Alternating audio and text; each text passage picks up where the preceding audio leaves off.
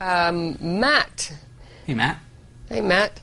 Says, thanks for all the work you've done. I just became aware of your site and have been frantically downloading and viewing all of your past shows all weekend. That's where all that What a bandwidth is going. weekend. See? They've been quite helpful. I was curious if you have any plans on doing a show on how to set up a home web server, which may include FTP functionality and perhaps some services like a forum, a blog.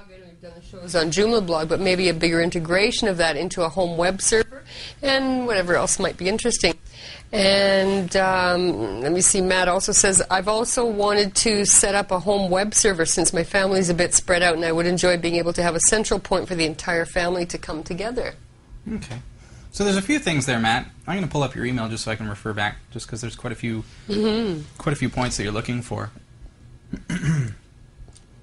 I wouldn't mind knowing. Well, there's a couple things that we have to consider when you talk about setting up a home web server. The first thing is it depends on how involved you want to get on setting this up because there's a lot of services out there like you look at services like DreamHost that provide uh, web hosting for you know five bucks a month and you're able to uh, host your website for that that much money and it just gives you access to everything and it's all hosted and then you can point like a com so if you wanted you know if you wanted to get a com for your family to go to then you know it's easy enough to do that once you start hosting it at home then you have to start looking at the fact that if you're on DSL or cable, your IP address changes every time you reconnect to the internet. So if your if your family members are connecting to that web server through an IP address, you have to let them know every time that IP address changes.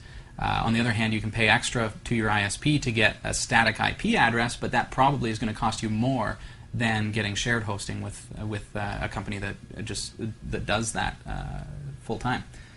So that's you know that's something for you to consider. If you do feel that it's advantageous for you to set up a home server, then you, what you're going to need is uh, various applications to, to run it for you. If you are running Linux, you know I'd really like to know more about what kind of box you want to set up. Like, do you have a computer that you're going to be dedicating to this? Because it's got to be running all the time, right? Uh, or are you planning just to run this on your own computer, or what's what's the plan there? Ideally, if you had a Linux server, that's going to be the most affordable way to do it. Like, and by Linux server, I just mean any old computer that will be able to run Linux. Uh, you can download Ubuntu Server Edition uh, from Ubuntu.com. That's going to allow you during the install process to install what's called LAMP, and that's uh, Linux. Apache. Apache is the server that allows you to do like HTTP colon and then actually load a website through a browser. So that's Apache. Uh, and then uh, MySQL, that's what you're going to need for databasing. And the P stands for PHP. That's a programming language that you're able to use uh, when creating websites. So, uh, so that's that's an easy way to get the LAMP stack, but there are other ways as well to get that uh, in an Ubuntu system. There's there's are ways to get it in your Windows system, but then of course if you've got a Windows server, you've got to deal with you've got to you know be be aware of the fact that you can get viruses and things. So you obviously have to have protection, and that's important. Um, so that's where again it's it's nice to have a dedicated Linux box because you can basically set it up and let it go.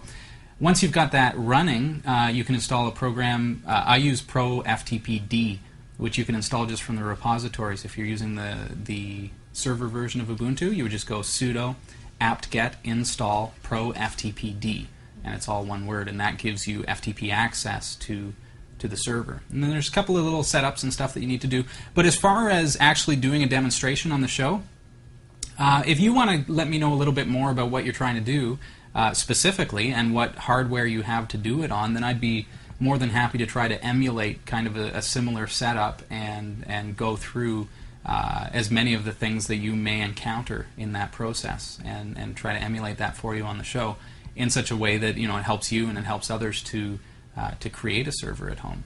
But essentially, that will get you started.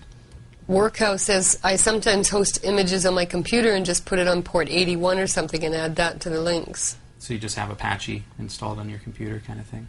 Yeah. So.